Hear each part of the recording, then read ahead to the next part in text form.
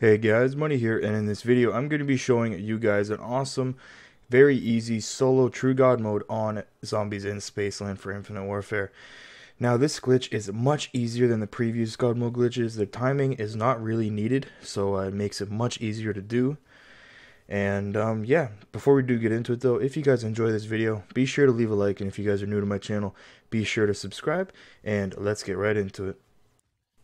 Alright, so uh, this is very easy to do. You guys uh, only need two things for this. You will need a trap of some sort, as long as it's not a laser window trap. And you guys will also need a rewind grenade. And once you have all of that, you want to go ahead and glitch out that trap over at the arcade machine in, uh, in uh, Journey into Space.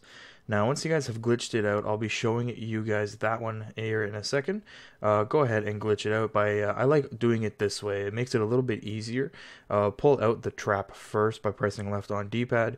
And once you guys uh, pull out the trap, go ahead and um, uh, go over to the basketball machine once it's pulled out. And then you want to quickly put it away and then hold square and then pull it out one more time. Now usually if you do it this way you end up getting it right on the first try, at least I do. Um, but once you guys have that ready you want to go ahead and find Neil the robot. Once you guys find Neil make sure he's traveling in a straight line uh, as that makes it much easier to do. But once you guys are here you want to just walk back and forth a couple of times in front of him, dance around him a little bit, and you just want to walk backwards, wait till he starts moving forward and you want to press left on D-pad and then rewind. If done correctly he will start moving moving towards you and you'll see that little basketball thing show up. And uh, if you guys did it correctly, then you should be in God mode. I'm just here looking for a zombie real quick but I hit it the first try pretty much. This is an insanely easy glitch to do. There is literally no timing involved, which makes this just so much better. And um, you are invincible from the brute. You are also invincible from clowns, and you're invincible from zombies. As for traps, I am not 100% sure.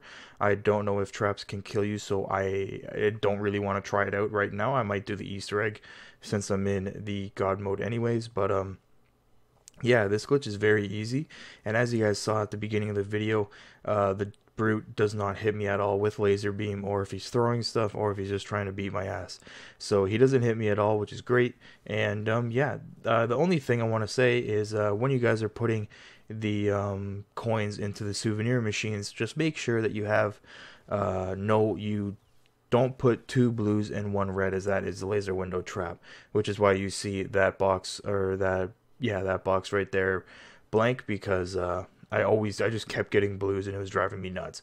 But that is pretty much it for this video. I do hope you guys enjoy it. I'll have the founders down in the description below, so uh, be sure to check them out. And I'll see you guys in the next video.